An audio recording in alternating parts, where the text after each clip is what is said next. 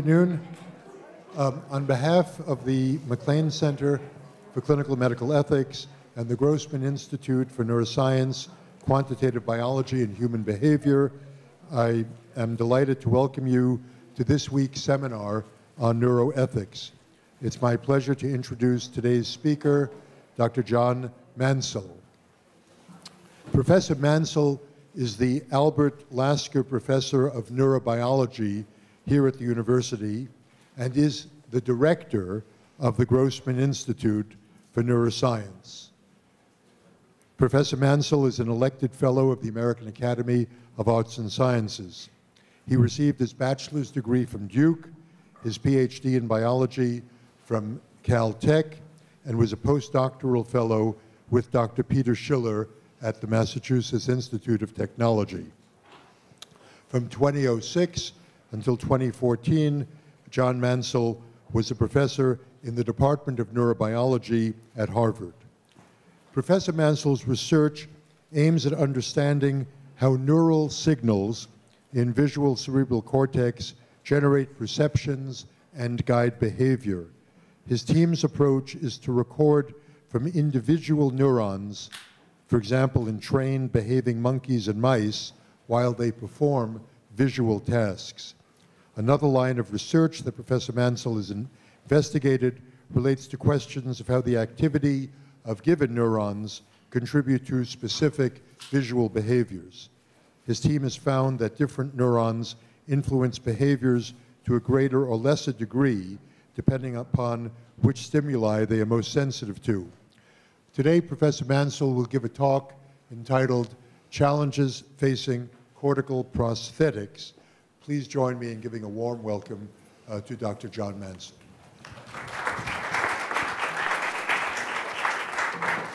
Thank you, Mark.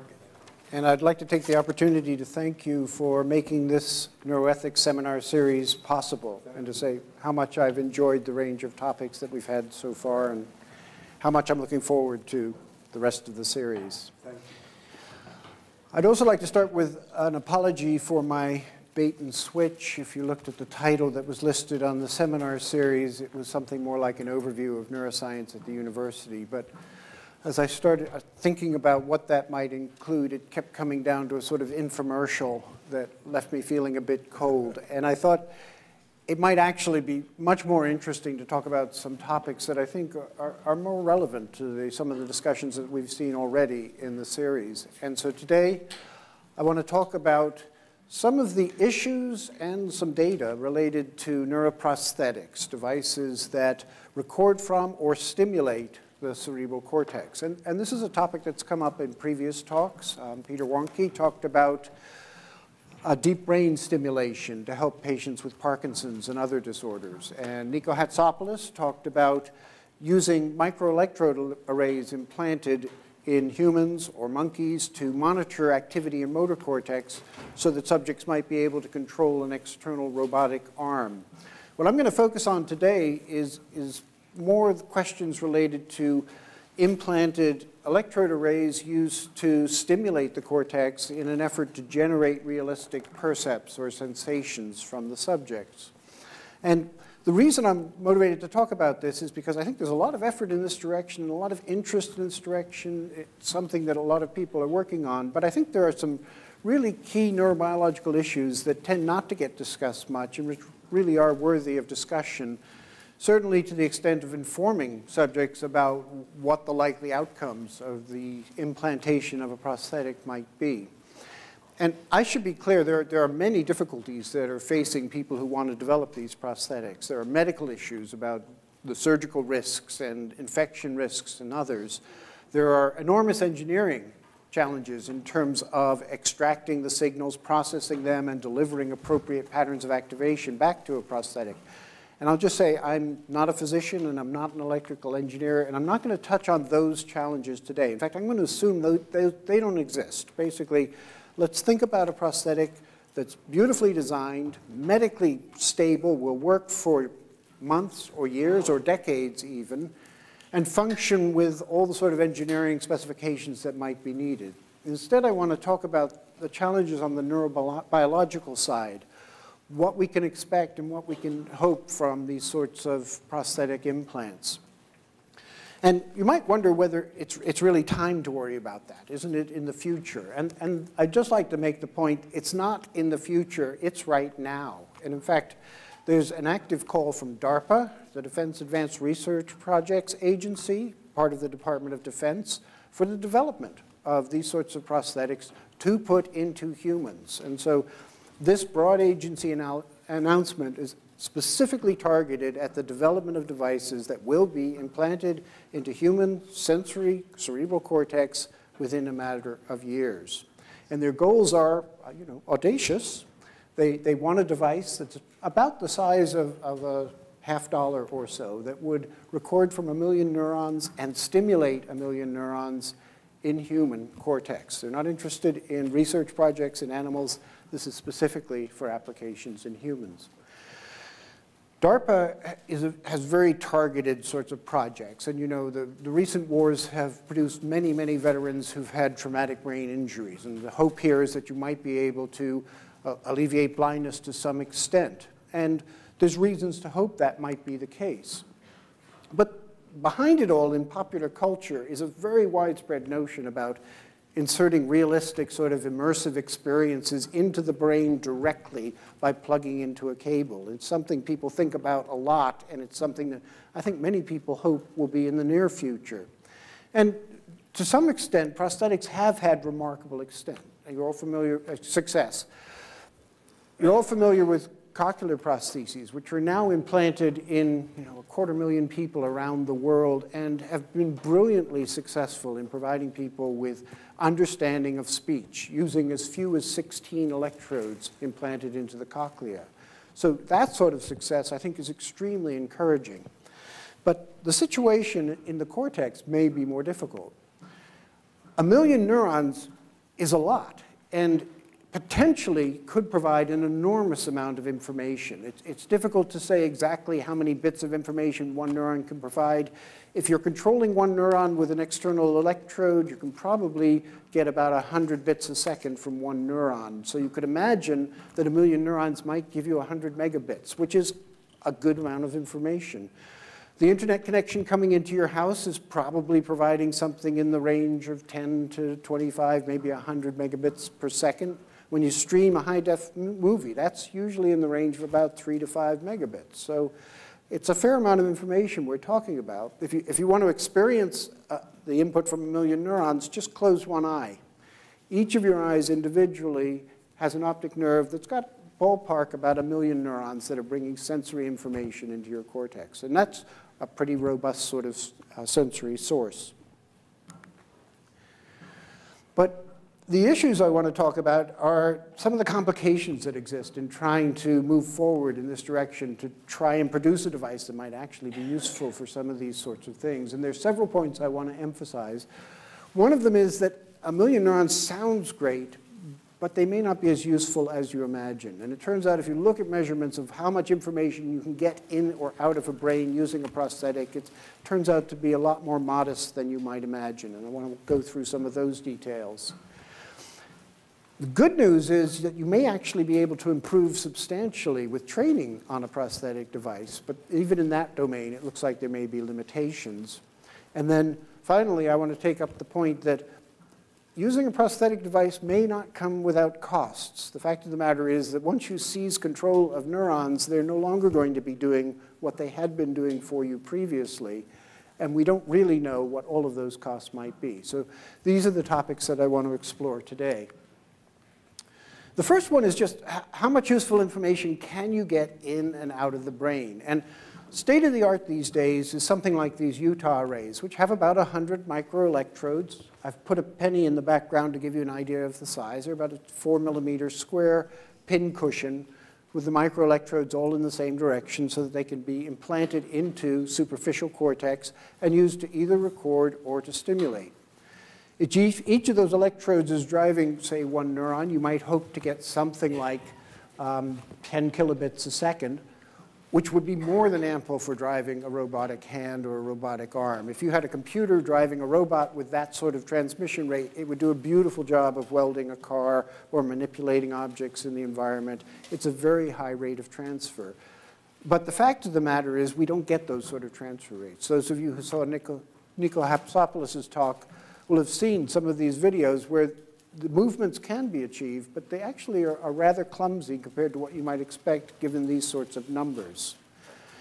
And you can actually measure how many bits of information you can get through a transmitter of this sort using a task of the sort that's frequently used in these experiments called a center-out task, which is schematized here. In this task, which is good for human subjects and also works for animal subjects, monkeys, there's an array of dots on the screen the animal or subject has a joystick with a spot that's in the, that controls the spot that starts in the center, and at some point, one of the dots changes color, and the task is just to use the joystick to move the spot over to that target and hit it. That's all you need to do is just get the spot from there to the outside. Typically, it's all done sort of without seeing your hand. All you see is the movement on the screen for feedback. But most people can do this task pretty well. In terms of quantifying performance, if there are only two targets, basically your task is to provide one bit of output. Are you going to hit the one on the left or the one on the right? If there are four targets, that's two bits, and so forth, on and on.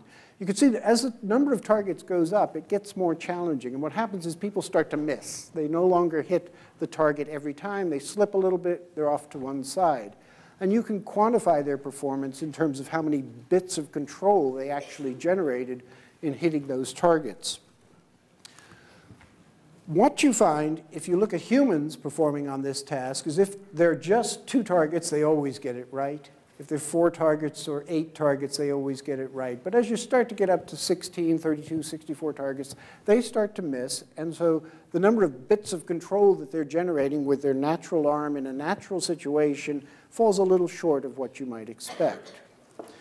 If you go into the brain of a monkey performing this task and monitor the activity of cells there and see how they differ depending on whether the arm moves left or the arm moves right or up or down or all different directions and try to just see how much information you can extract about where this cursor will move, you find that if you look at a few hundred neurons, they actually do about the same as humans. In fact, it looks a little better than humans, which might puzzle you, but the fact of the matter is this analysis assumed all those neurons were independent of one another, which is actually not the case. And so the performance by decoding neurons from a monkey's brain actually comes pretty close to matching the performance that people achieve on a task of this sort.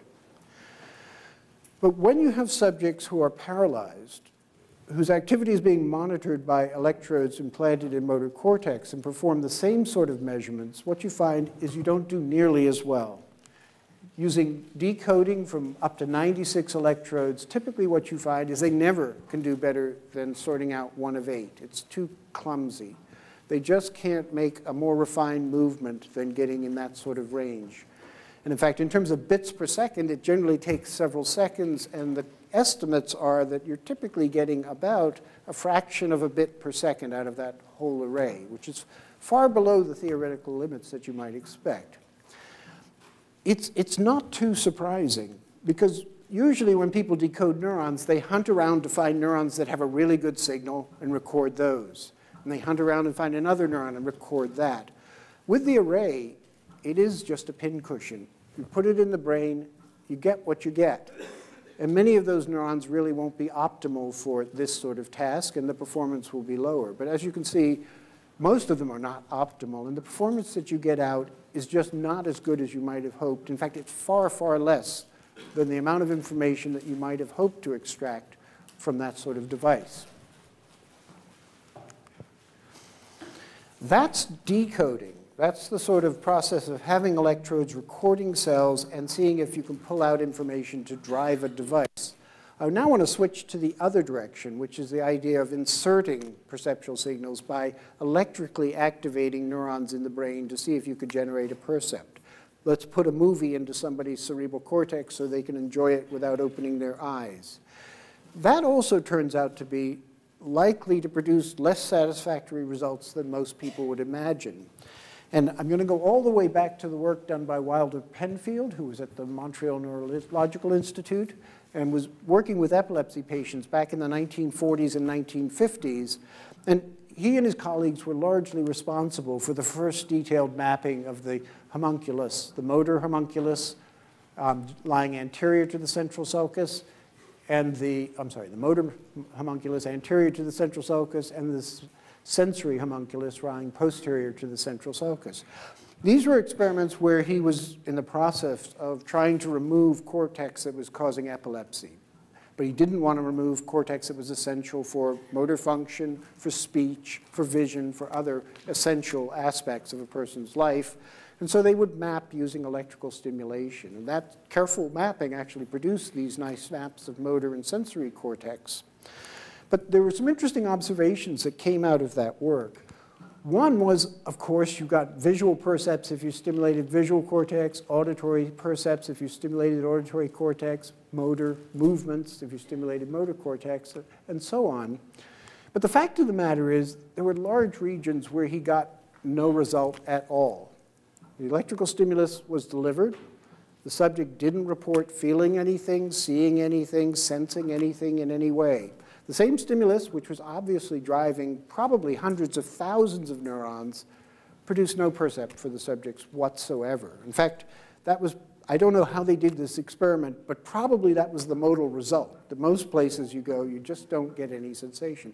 It's intriguing, right? The idea that you could actually turn on thousands of neurons in my cortex and I wouldn't know about it one way or the other. But in fact, it was the common result. This plot doesn't show somatosensory cortex because I think Penfield spent a lot of time stimulating there, so it would have been so dense it would have been completely covered. But the comment that he made was he rarely found sensory responses more than about a centimeter away from the fissure. So you have all these large regions that are sort of blank here where the brain's not working. Obviously, it is working, but electrical stimulation, for some reason, is not effective in generating any sort of percept that the subject could detect or could use to guide behavior. People I tell this to are often puzzled because they have recollections of the Penfield experiments evoking all sorts of elaborate experiences and hallucinations and different sorts of images of their mother walking into the room. Those, in fact, were extremely rare. And in fact, if you go back to the book and read through for those examples, what Penfield said was you get those when you stimulate epileptic cortex. And so the comment he made was things like this after temporal cortex has been prepared by the conditioning influence of epileptic discharges, then you can get these psychical dis discharges. Or hallucinations are produced if you go into regions where you've had recurrent epileptic discharges. So those fascinating things actually were cortex that has been misbehaving for a long time. Most of normal cerebral cortex doesn't evoke a robust percept if you stimulate it electrically.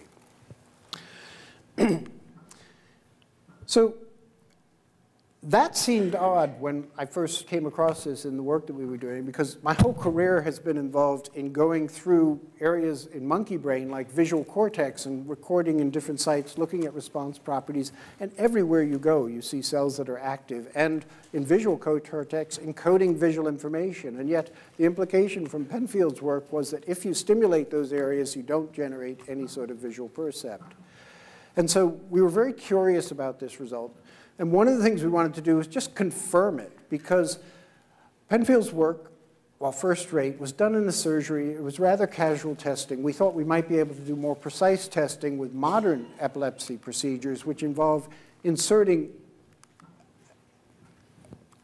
implanted electrodes on the surface of epilepsy patients, which are monitored over the course of three to seven days or so and which actually allow the opportunity to record signals from the brain, but can also be used to stimulate the cortex and ask subjects whether they can detect those percepts.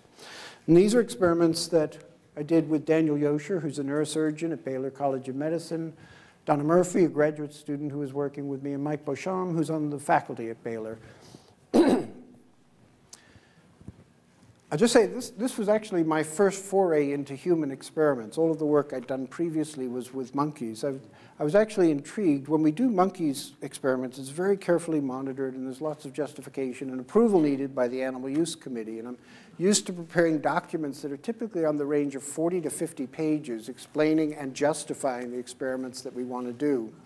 I was a little surprised when we wanted to do the human experiments that it took under 10 pages to get approval to do the same experiments in people that we'd been doing in the monkeys.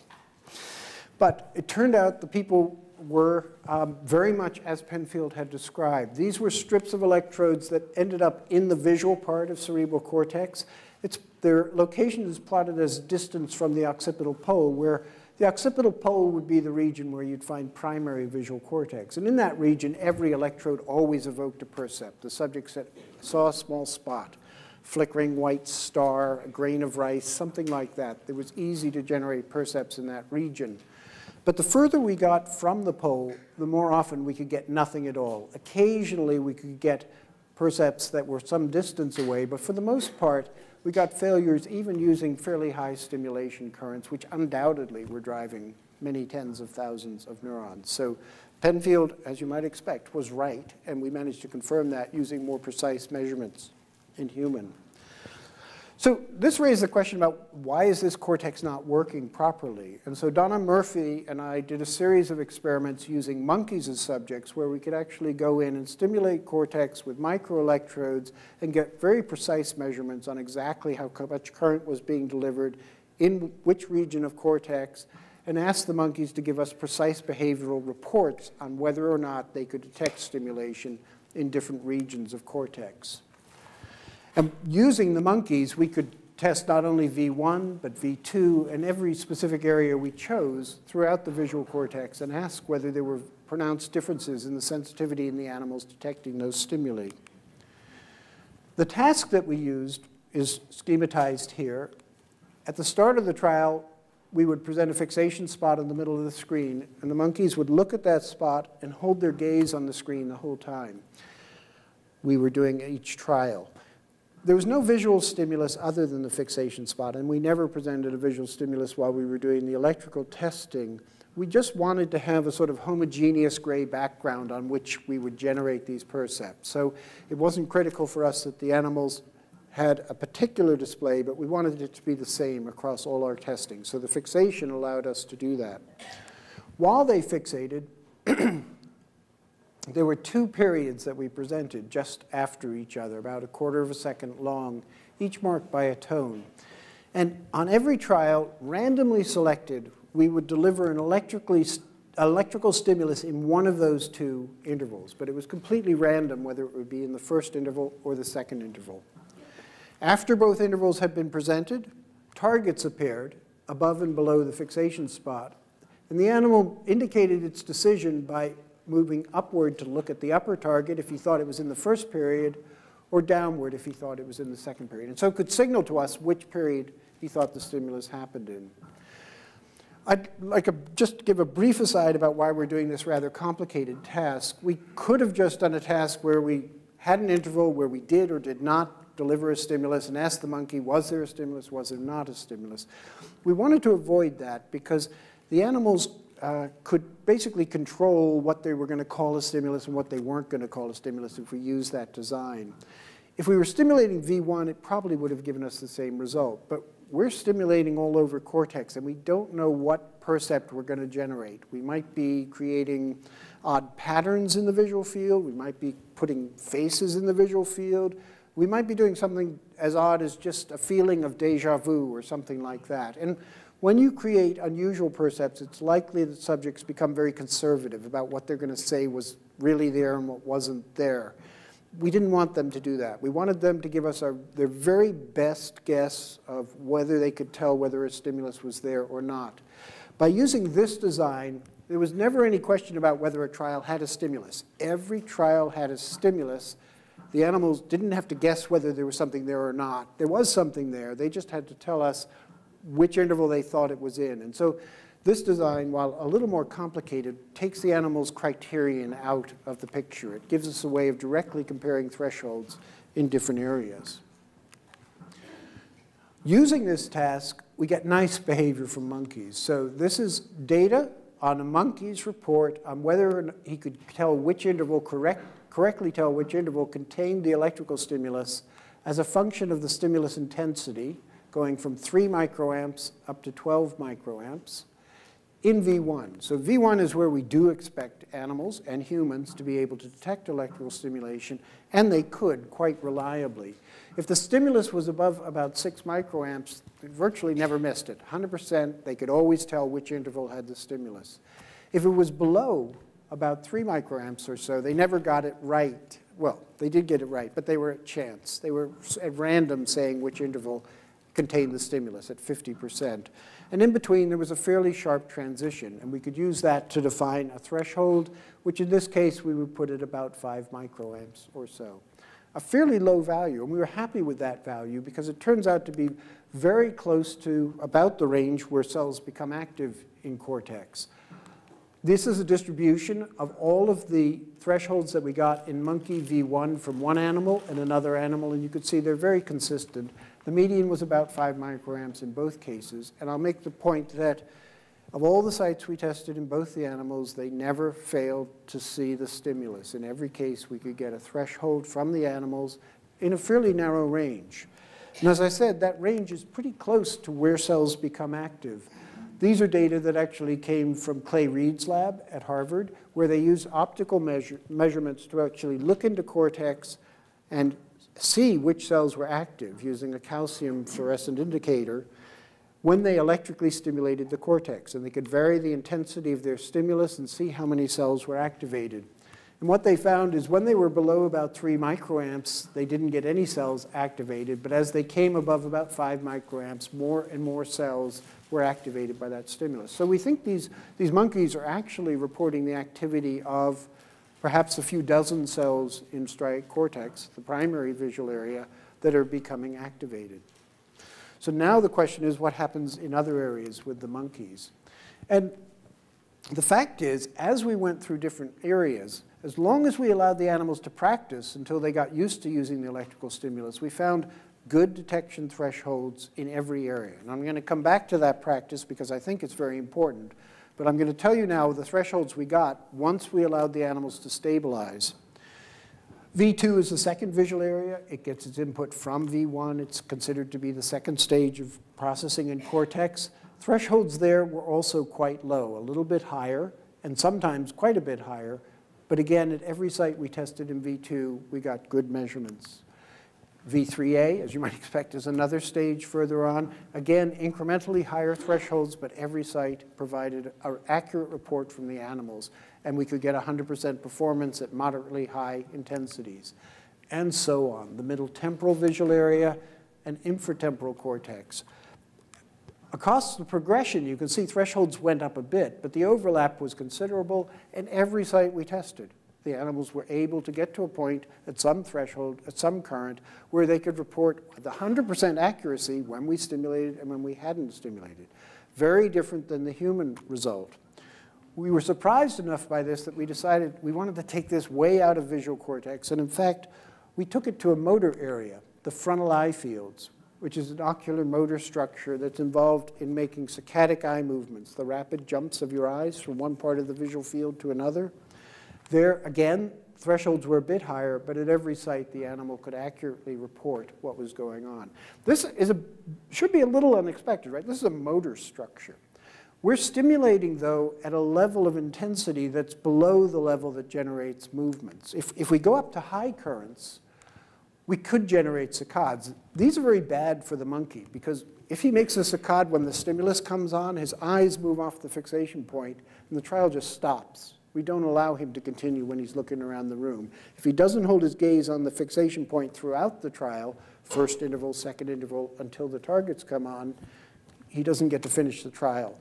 And so he doesn't want to break fixation, but it's a motor structure, and if we activate it enough, it actually breaks fixation. But you can see that starts to happen up at very high levels where the animal's already getting 100% correct. At levels well below where you generate robust eye movements, you don't see uh, you do see good behavioral detection. even if we look at a sort of microscopic level, so now we're no longer looking at big eye movements, we're zooming in to see if there's any microscopic movement of the eyes. Again, at the highest levels, we see little movements. This movement here corresponds to about a half a degree of eye movement. This is probably two-tenths of a degree of eye movement or so. But again, they're only up at the highest levels. If you stimulate motor cortex at levels well below those needed to produce emotion, the subject can tell you activated their motor cortex. So it's not that it's all outflow from motor cortex. Subjects are very aware about the activity that occurs in motor cortex. But the summary is sort of anti-Penfield. Everywhere works. You could get good results, good stimulation, good behavioral reports from the animals at any part of cerebral cortex. And so we think now that potentially the good news is all of cerebral cortex is accessible for guiding behavior, where previously we thought from Penfield that maybe only some regions or patterns of activity could guide behavior. We now think they all can, providing enough training is given to the animal, and that becomes key. So Penfield never trained his subjects. He simply stimulated and got an answer for them. He never really gave them a chance to practice and get good at detecting those stimuli. As I said with the monkeys, we did let them practice, and we often let them practice a lot. These are data that are sort of typical of what happened when we moved from one area to another area and started testing the animal to see whether they could detect electrical stimulation. Quite typically, when we started, we'd be up at very high currents, and we never went above 50 microamps. Um, more than 50 microamps can damage your electrodes permanently, and we didn't want to do that, nor did we want to damage the monkey permanently, so we just capped it there. If they couldn't get it at 50 microamps, we just stayed there and saw, waited to see if they could eventually get it. And if they didn't at first, eventually they started getting it. And their thresholds would jump around and sometimes relapse, but basically over the course of many trials, and here we're on an axis with 20,000 trials, it was quite typical to see this effect of the thresholds coming down and down and down over time. Once they've stabilized here, we're talking about thresholds asymptoting at about 6 microamps, again, very low level. So improving by a factor of 5 or 10 over the course of training on 20,000 trials, roughly 15 days worth of work from the animal or three-hour sessions every day a lot of training, but a very consistent and exponential sort of process. Um, some of you may recognize this looks very much like perceptual learning that would occur when you're learning to discriminate very fine discriminations with stimuli you're not familiar with. You improve over time in this sort of way, and we think this may be engaging a similar sort of process. Why does this happen?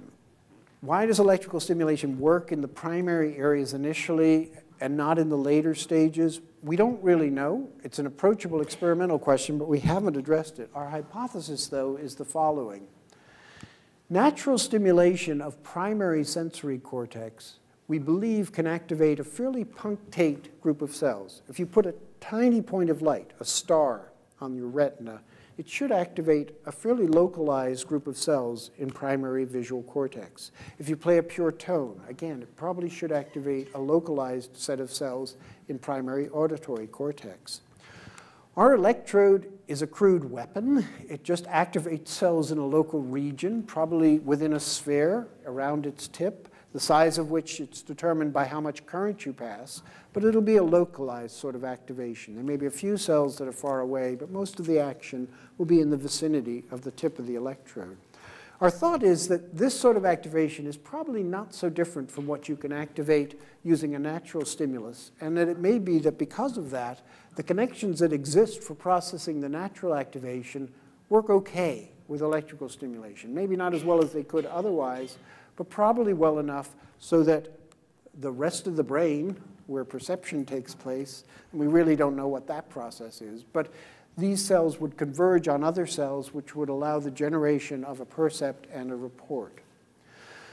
What we do know from a lot of recording experiments done in many sensory systems is as you get to later and later stages, the representations get more complicated. They get more distributed. There's just no stimulus you can put up that would activate a punctate group of cells in your inferotemporal visual cortex or in your parietal visual cortex.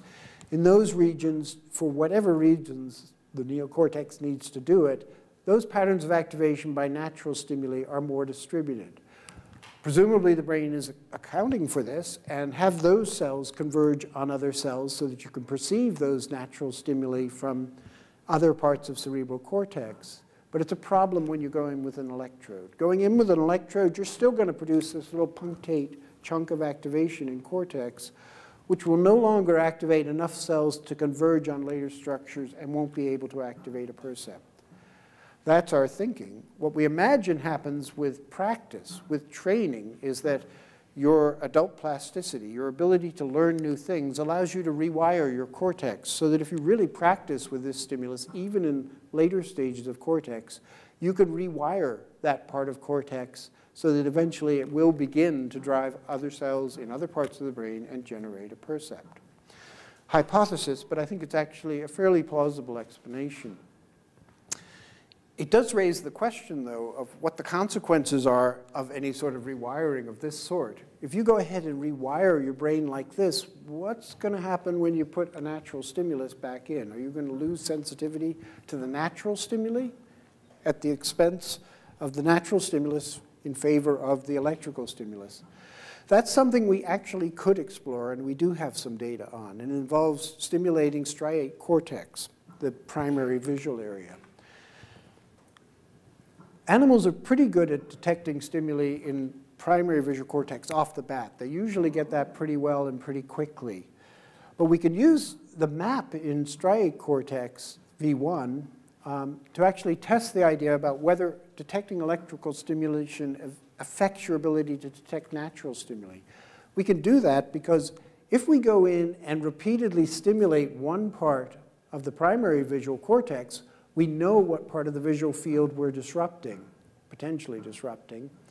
Um, we can know exactly what part because we can just use our electrode to record where those cells respond in the visual field before we start our stimulation, do the stimulation training over days and weeks, and then ask how well does the animal do at detecting a visual stimulus in that location after we've trained them to be an expert in detecting electrical stimulation in that part of the cortex. This is the results that we get from that sort of experiment. Here's the animal learning to detect electrical stimulation. Actually, these are the data I showed you earlier. The animal's improving, coming down to a threshold of about 6 microamps over the course of a couple of weeks.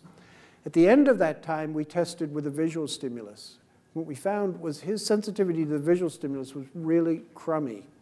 He should have been able to detect a few percent contrast in that part of the visual field.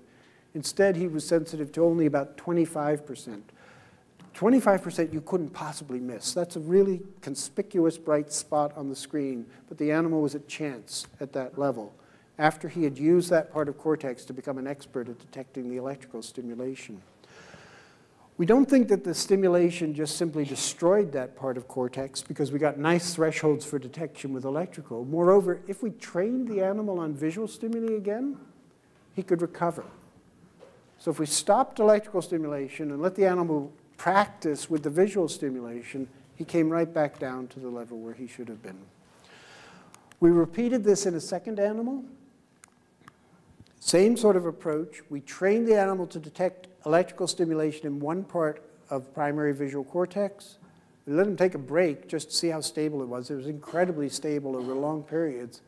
But then when we tested for visual performance, you can see this animal was sort of blown out. He could hardly see things at 50% contrast after he'd become expert.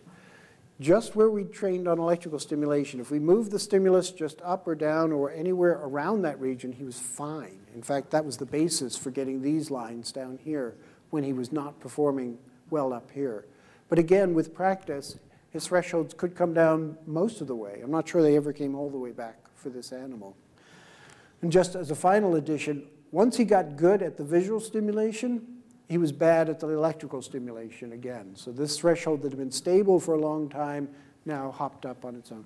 It was sort of a push-pull arrangement. You could be really good at detecting visual stimuli or really good at detecting electrical stimuli, but not both, apparently. So the takeaway from that would be there's, there's a bit of a cost at using electrical stimulation in terms of what you can do with your cortex. It can't do everything for you. It's wired for particular patterns, which is why you don't see electrical stimulation everywhere all the time. And once you wire for one pattern, it's no longer going to be wired for detecting other patterns of activation.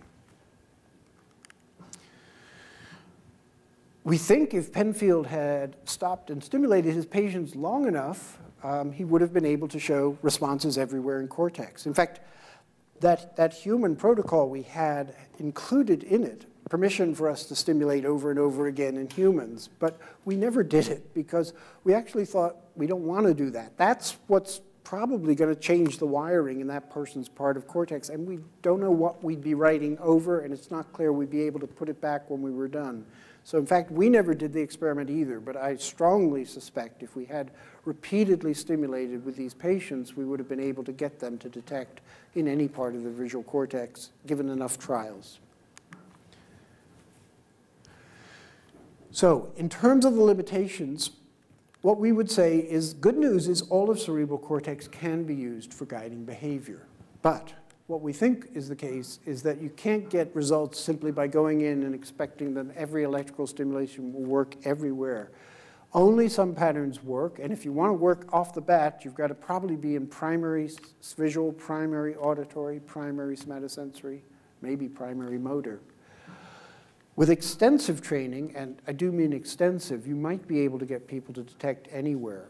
But we still don't know exactly what that percept will be. Once we train those animals to detect our electrical stimulus, we don't know whether they were detecting the native percept that that area had been assigned or something new that was more related to our task that they had just learned. So it's not clear what you're going to get in terms of the percepts once you retrain an area to detect something.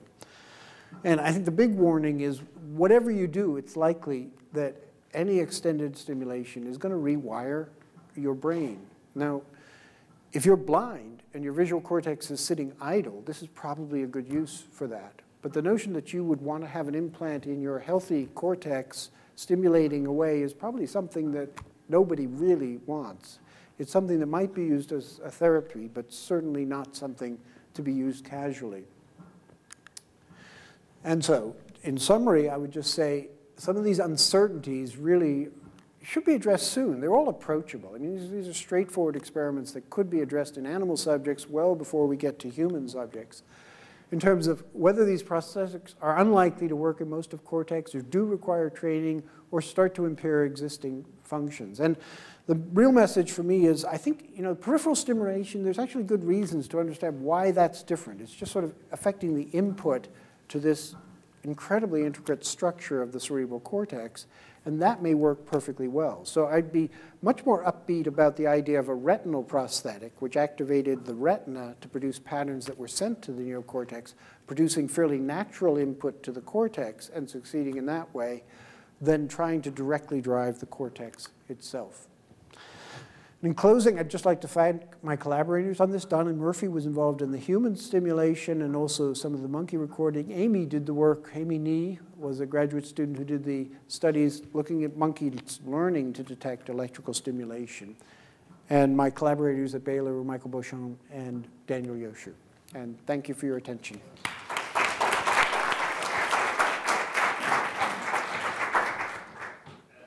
Asked this question again, uh, you might remember, but actually now your lecture makes uh, total sense to, to me. the, the, uh, the situation, and we can do this with less than 10 pages, the experiment, uh, where we stimulate the motor cortex in pain patients below the motor threshold and reduce their pain, and the patient can tell exactly when we stimulate and when not is fascinating. And the, the, problem is we can do this much longer than, because I think you did it in epilepsy patients at Baylor, which limits your phase to about a week. We can do this for up to 12 months. The fascinating thing is we have uh, two other phenomena. Number one is the patient can turn the stimulation off and still is pain-free. But after about 12 to 18 months, the pain comes back and they need more and more stimulation. But the first experiment, according to just what you showed, would be very simple is, according to your data, we would postulate that when we stimulate below threshold and the pain goes away, their sensory discrimination should actually deteriorate. That's, that's what they really do in the sensory motor cortex. I'm not aware that anybody has ever done that, but that would be a very nice experiment. I agree. I think that would be very interesting. I think I think my expectation would be there, there almost certainly has to be some cost, and what that cost would be would depend specifically on what structures you were stimulating. And so if it were primary motor cortex, and I'm, I'm not sure where you are stimulating, so I would just be guessing, primary motor cortex, I suspect you would actually find that their precision would be measurably affected in that sort of way. We should talk about whether we could get some really good data out of that.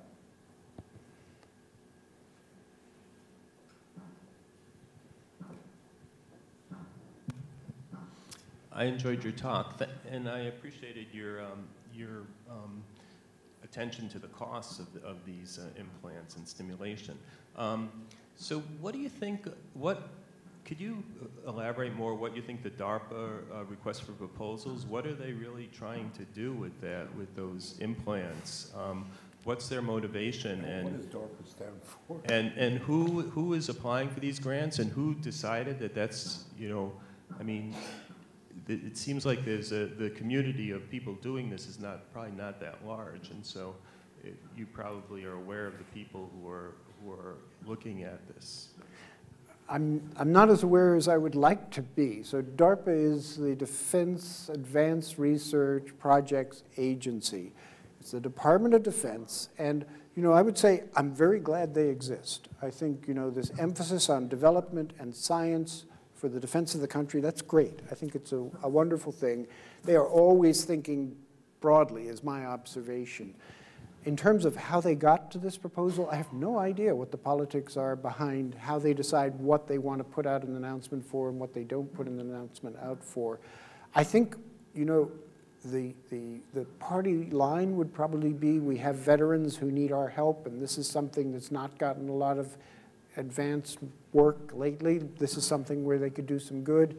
The stories I hear is they have talks, they have notions of you know soldiers communicating to each other silently through neuroprosthetics, and you know, but I have no idea what they really want.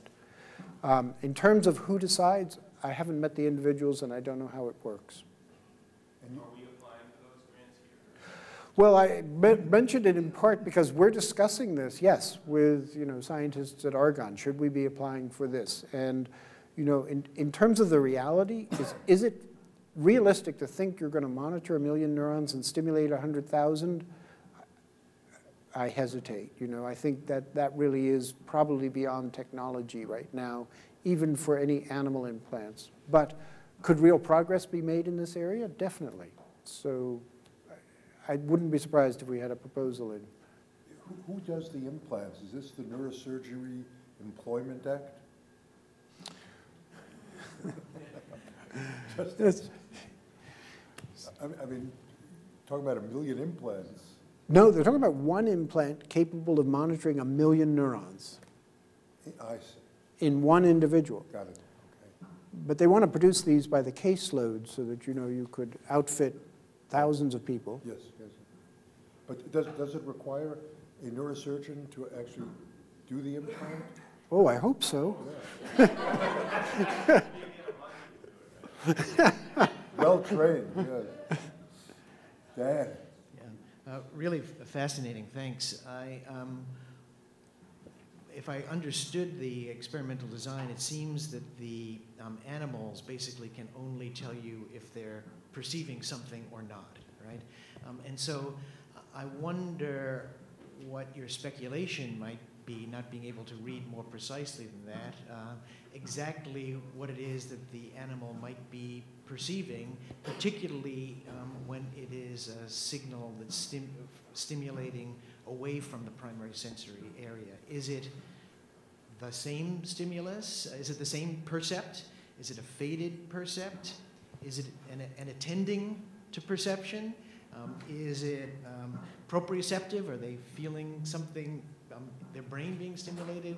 Um, which again might bring you back to human experiments, um, but uh, I'd be interested in your speculation about this. Yeah, and it's pure speculation because we simply will not know until we do the experiments on ourselves. Um, of course, with the humans, we can ask the humans. I find it enormously frustrating to ask the humans what they perceive because you get into little discussions of a little curvy line here with a bit of flicker, and you know, the, the words just couldn't possibly be adequate to convey the percept that they're feeling. With the monkeys, we don't know. My strong suspicion is that we probably aren't driving the native percept of that piece of cortex by the time we've finished. I suspect what we're doing is teaching the animal to perceive uh, the thing they should respond to in this bizarre task that we've trained them to do. And they just sort of feel, that's it, there's my stimulus for this task. And the reason I say that is that when, when people have developed um, visual prosthetics that involve stimulating the skin, so they give blind subjects uh, lots of tactile vibrators that actually produce an image on their skin or on their tongue, for that matter. When they're successful, what the subjects say is that became completely transparent. I wasn't feeling my, my tongue or feeling my chest. I was just aware that there was motion in front of me coming towards me, as, as was indicated by the visual information conveyed, not by the modality that was conveying it. So my speculation is that it becomes transparent and they see the appropriate percept for what you're trying to convey to them. That said, the, the hypothesis is, is if I did stimulate a human subject with electrodes corresponding to red and green anywhere in their brain, once they learned that and were doing that, they would see red and see green when I activate those spots. But it's, again, it's a subjective thing that we can never really address. Yeah, yeah. Uh, I love the talk. Is there any evidence that in stimulating um, these um, monkey brains that um, as training occurs, that there is an improved or enhanced density of receptor fibers or uh, change in, in chemical structure. Uh, it took about 20,000 uh, repetitions in order for there to be adequate learning so that it could be reproducible. That's about the same kind of learning that we do with neuromuscular training for athletic events. So you become better, but it takes about 20,000 times to make something happen. I'm just curious. Great question. We don't know the answer. It's perfectly approachable in animal experiments. It would be hard to do it in a detailed way in monkeys, but we're in the process now of trying to get similar experiments going in mice, where they're giving behavioral reports on cortical stimulation. If that's successful, then we can really begin to look at detail in terms of anatomical connectivity, transmitter systems, uh, biochemical cascades that are mediating the plasticity that we're looking at and what, what exactly changes in cortex when they learn to perceive something new. Quick question. Has Wilder Penfield's work ever been replicated? Uh, has it been redone over the years? Oh, I, th I, think it's done every day in epilepsy clinics around the world. We did it ourselves that one, one time. But as far as I know, it's, it's not uh, an experimental line that people are pursuing, but it's actively used in clinics. And, and his findings have held up to the test of replication. He was a great man, yes. Please. To get back to the ethical questions in here, since somebody already asked my DARPA question, another one. Did I hear correctly that the application to get permission to do these experiments in humans was about one-tenth as long as the one to do it in animals? Uh, uh, fifth, yeah. what was missing? What was in the animal one that wasn't in the human one? Details, lots of details and lots of justification. You know, when I th thought about it harder, I thought maybe that's okay. The human subjects can opt out at a moment, right? They can just say, I don't want to do it. Or if they change their mind at any time, they can just say they don't want to do it. The monkeys, you know, they don't get a say. And so to a certain extent, I think it's okay that we have to work a little harder to make sure that this is an appropriate experiment done in the best possible way. And so, you know, I was a little surprised that you could experiment on humans so easily. But I mean, what, end, what kinds of things were missing? I'm really curious about, you know, concretely what, what wasn't in the human application. Well, I think the biggest difference, I think, think the difference really is that we could basically say, and the neurosurgeon will be there with us the whole time. And so a whole world of problems, I think, went away there because they were just, you know, if we induced epilepsy, we've got a neurosurgeon there. The neurosurgeon will take care of the surgery procedures, so we don't have to describe those. The medications are all going to be taken care of by the neurosurgeon, so we don't have to describe those. So just lots and lots of details didn't need to be included. It was mostly, were the subjects going to be um, sufficiently aware of the situation, well-informed, giving consent, and able to opt out at the appropriate time. And once that was established, I don't think they worried nearly so much. Okay, I still find it disturbing.